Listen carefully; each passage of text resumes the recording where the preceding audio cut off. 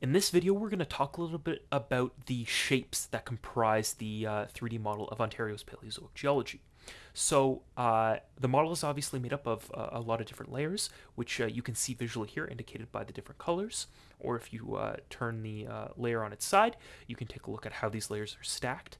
Um, to get some more information about each of these individual layers, we uh, come to the, the, the shapes uh, box here, which contains information on all of the different layers that comprise the model. Uh, it seems like a lot, but don't be overwhelmed. Um, a lot of them uh, are uh, a part of similar categories, so you'll be able to navigate them fairly easily.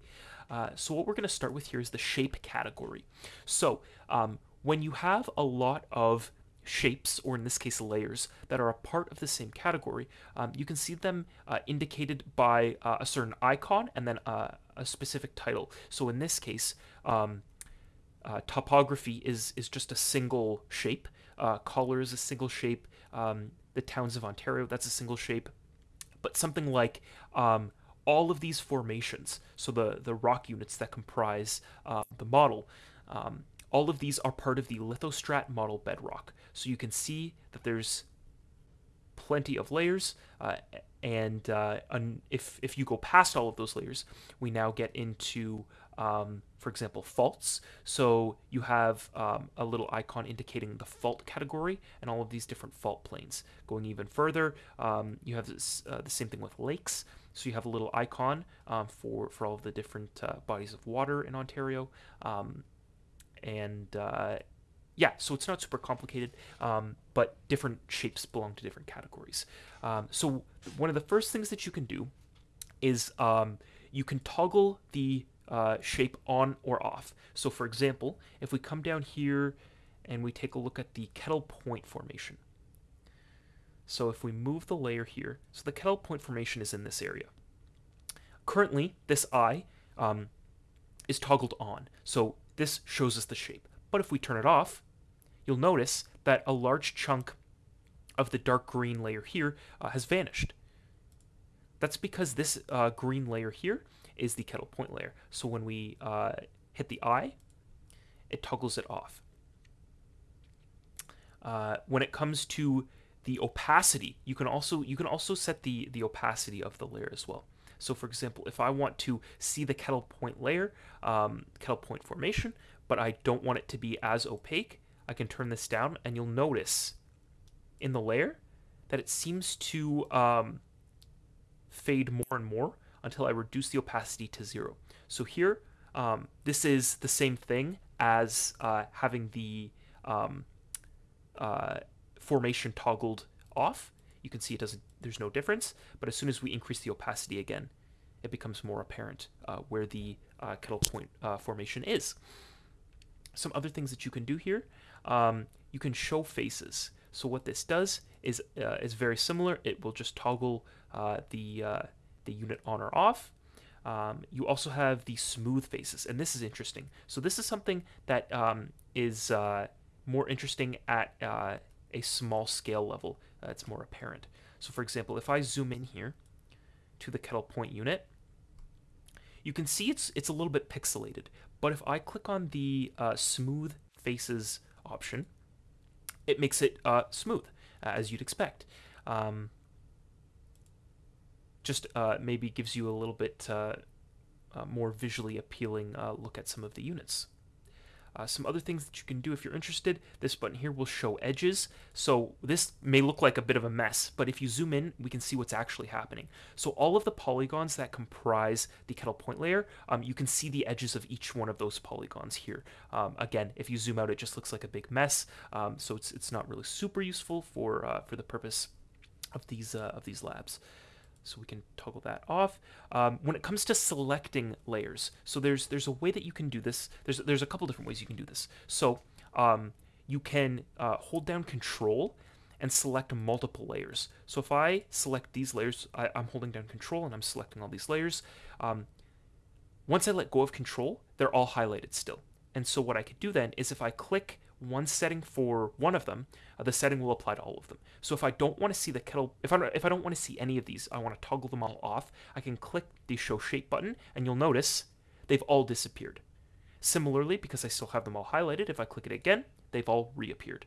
Uh, in order to clear a selection, uh, you can simply click uh, a single layer uh, that isn't already highlighted. And you'll notice now the only thing that uh, is selected is, is just one of whatever I click. Um, you can also select by category. So for example, this litho strat model bedrock category, um, if I select the kettle point group and uh, I want all of the litho lithostrat model bedrock uh, units selected, all I have to do is double click on one of them. So if I double click kettle point, you'll notice that all of the lithostrat model bedrock um, units are selected. None of the faults, uh, none of these. It's it's just these units. And so what I can do is because they're all selected, if I zoom out here, you'll notice that when I click show shape, it's it unselects them all. It still leaves the bodies of water because those weren't selected. Um, they're not part of the strat model bedrock category. Um, and then similarly, I can make them reappear by clicking on them again. Um, this looks a little bit different, you might notice, and that's because um, this model here, the overburden, um, is normally not selected. So in order to uh, get rid of this, uh, I have to show shape, and it, it uh, toggles the overburden layer off. Um, once you uh, are comfortable with this, what you can do is you can go in and you can click on individual units um, in the model and it'll give you some information down here uh, about each uh, about each unit. This this isn't just exclusive to the uh, the bedrock units. You can also click on uh, the uh, the bodies of water, and it'll tell you a little bit about the body of water that you've selected, um, or um, any of these other features that are not bodies of water um, or bedrock units. So, for example, if we want to turn on uh, a map of all of the towns in Ontario, we can toggle that on, and now you can see um, all of the uh, the major uh, towns in Ontario uh, have appeared on the map. And so we can uh, go in here and we can click, say, Kitchener. And this will just give us a little bit of information about uh, this point um, right here. But we'll turn those uh, back off for now. The final tool you might be interested in using is the measure tool, and this is going to allow us to measure distance and also the thickness of the geologic layers in the model. So this tool can be accessed by clicking the ruler icon in the toolbar and uh, clicking and dragging anywhere in the model will uh, reveal the distance here uh, of the line that you've drawn. To use this to measure uh, the the layers in the geologic model, uh, we have to use a little bit uh, a little bit of nuance um, in order to get the true thickness of these layers. So the first thing we'll start with is by taking a perspective that allows us to view the layers head on without any any additional angle. Uh, you'll notice, even if we take a look at this violet layer here, um, you'll notice that the, the layer itself uh, is not consistent in its dip. Uh, it varies.